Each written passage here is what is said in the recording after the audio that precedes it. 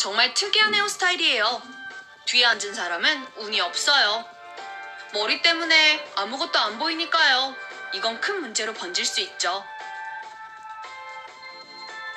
제가 바로 머리를 잘라드릴게요. 영화관이 순식간에 미용실로 바뀌었네요.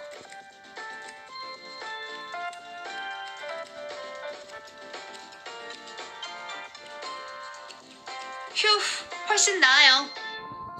잘 보이네요.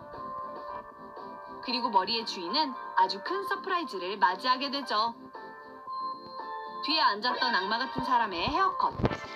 이 영화는 잊지 못할 거예요.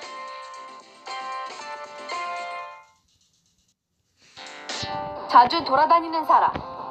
휴, 겨우 시간을 맞췄네요. 하지만 팝콘을 못 샀어요. 음, 진짜 맛있겠다. 죄송해요. 지나갈게요. 이런 밟을 수 있는 모든 발을 밟고 지나가네요. 그리고 돌아왔어요. 잠시만요. 죄송해요. 너무 덥네요. 목이 말라요. 이럴 수가 음료수를 깜빡했네요. 다시 나가야겠어요. 끊임없이 돌아다니는 게 짜증나기 시작하네요. 이제 다 된 거죠? 어, 내 배. 화장실에 가야겠어요. 제 물건들은 옆 사람에게 보관해달라고 부탁할게요. 휴, 이제 영화를 봐볼까요? 이런, 여긴 제 자리가 아니네요.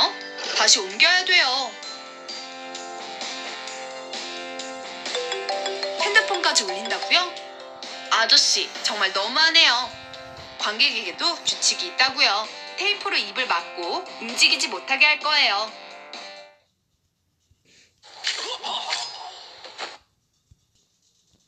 was the easiest thing I've ever done.